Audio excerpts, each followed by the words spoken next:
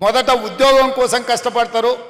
ఉద్యోగం వచ్చిన తర్వాత జీవితంలో స్థిరపడాలి అని పెళ్ళి చేసుకుంటున్నారు. పెళ్ళి అయిన తర్వాత భద్రత ఉండాలని ఇల్లు కట్టుకుంటున్నారు.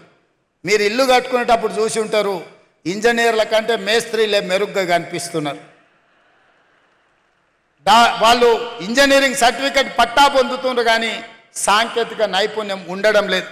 అందుకే ఆలోచన చేసి తెలంగాణలో అరవై ఐదు ఐటీఐలు ఉన్నాయి.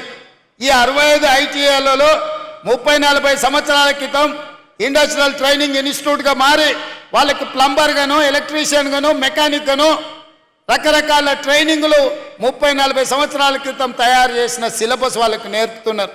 చదువుకున్న చదువుకు బయటకు వస్తే సంబంధం లేకుండా పోయింది. నేర్చింది ఒకటైతే అవసరం ఇంకొకటి. అందుకే ఆలోచన చేసి ముఖ్యమంత్రి అయిన తర్వాత రాష్ట్రంలో ఉన్న అరవై ఐదు ఐటీఐలను అన్నిటిని పరిశీలించి ఇవి ఏమాత్రం ఉపయోగం లేదు అని టాటా కంపెనీతో మాట్లాడి రెండు వేల నాలుగు వందల కోట్ల రూపాయలతోటి అందులో ఎనభై ఆరు శాతం అంటే దాదాపుగా రెండు వేల ఒక వంద కోట్లు టాటా సంస్థ కేటాయించింది. మూడు వందల పదహారు కోట్లు తెలంగాణ రాష్ట్ర ప్రభుత్వం.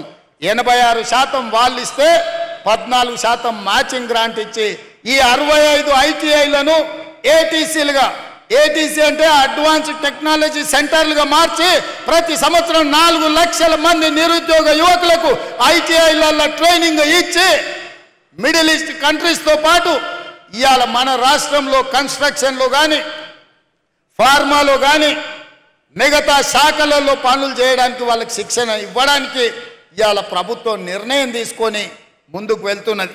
ఇదే కాదు ఒకప్పుడు కాకతీయ ఉస్మానియా యూనివర్సిటీలతో పాటు ఆనాడు కాంగ్రెస్ పార్టీ మహబూబ్ నగర్లో నల్గొండలో కరీంనగర్లో నిజామాబాద్లో Palamuru university Satavahana university Mahatma Gandhi university ఇవాళ చాలా యూనివర్సిటీలను నెలకొల్పింది.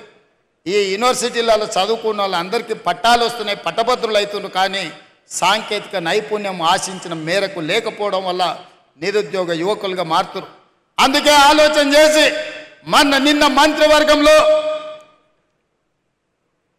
నిన్న మంత్రివర్గంలో యంగ్ ఇండియా స్కిల్స్ యూనివర్సిటీ మొత్తం పీపీపీ మోడల్లో పబ్లిక్ ప్రైవేట్ పార్ట్నర్షిప్లో ప్రభుత్వం వైపు నుంచి సహకారాన్ని అందించి ఎప్పటికప్పుడు నూతన సిలబస్ని కార్పొరేట్ కంపెనీలను కూడా అందులో భాగస్వాములను చేసి డాక్టర్ రెడ్డి ల్యాబ్స్ నుంచి మొదలు పెడితే ఎస్బీఐ వరకు వివిధ రంగాల సంస్థలను పనిచేసే వాళ్ళని భాగస్వాములను చేసి సిలబస్ వాళ్ళే తయారు చేపిస్తారు.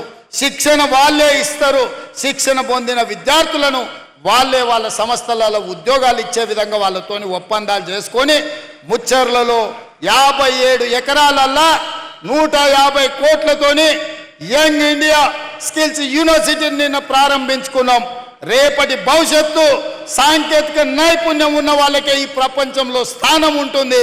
అందుకే ప్రతి సంవత్సరం ఇరవై వేల మందిని అక్కడ శిక్షణ ఇచ్చి ఫార్మా రంగంలో హెల్త్ దాంట్లో ఎడ్యుకేషన్ దాంట్లో అదే విధంగా కన్స్ట్రక్షన్ సైడ్ ఇట్లా పదిహేడు విభాగాలలో శిక్షణను ఇవ్వాలి అని చెప్పి ఇవాళ ప్రభుత్వం నిర్ణయం తీసుకున్నది.